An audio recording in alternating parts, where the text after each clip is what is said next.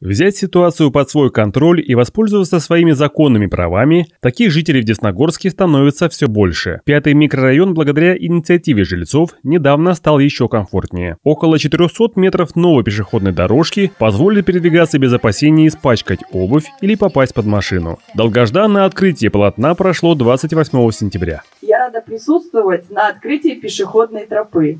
То есть всеобщими усилиями мы добились положительных результатов.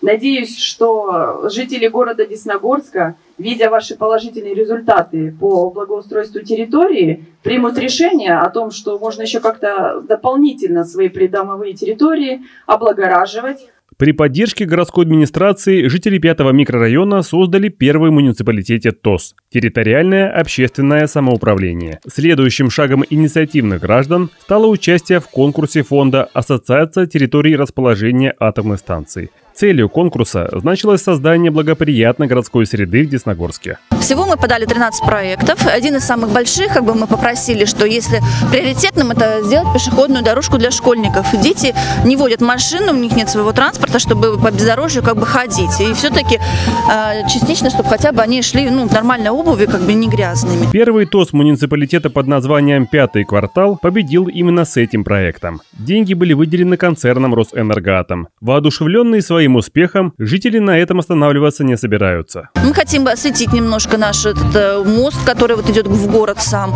А потом э, облагородить как бы по плане рельефа, ну, спроектировать, там, высадить деревья. Под лежачий камень вода не течет, сами знаете. Олег Соловьев, Юлия Соболева, Владислав Полоскин, Десна ТВ.